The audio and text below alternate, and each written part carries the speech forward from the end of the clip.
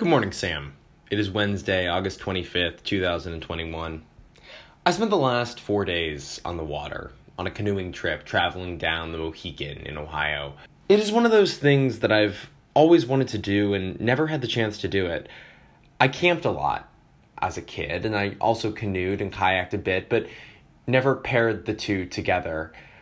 There's something really humbling about being on the water, carrying everything that you need in a couple of canoes, some coolers, some tubs, a few dry bags. That's it. That's your whole camp, that's your whole setup, that's all the food, all the equipment, everything. And to travel along this path of water that runs through a state that you've lived in your whole life. As I was going down the river, sometimes the conversation between me and the other person was silent we didn't really have anything to say, taking in the beauty that was surrounding us, focusing on trying to keep the boat straight as the current weaved in and out, avoiding the big rocks that we could see up ahead. Other times, conversation would spark, whether it was about the nature that was around us or sometimes just about deep and personal things. We weren't facing each other. One person in the front looking out, the other person facing their back and I think it added a little bit of anonymity. We were talking without seeing one another's eyes, and at least I felt like there was nothing I couldn't say.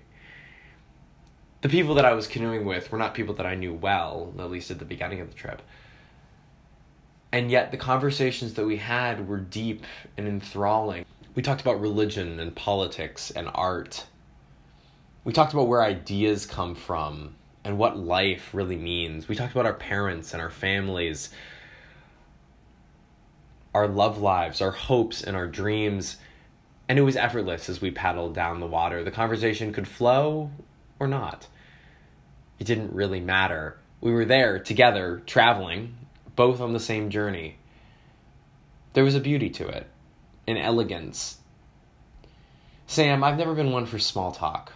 I just don't like it. I think it's sort of pointless and stupid. Humans are humans. We all kind of have the same ideas, the same ambitions, the same hopes, the same dreams, the same things that we're scared about.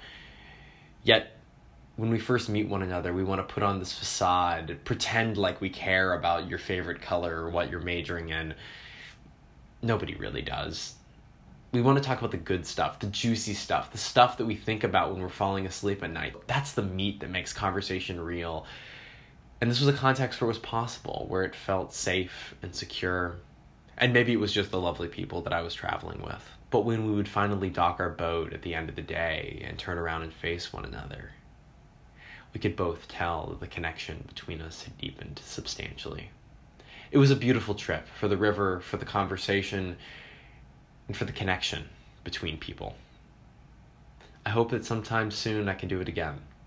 Sam, I'll see you tomorrow.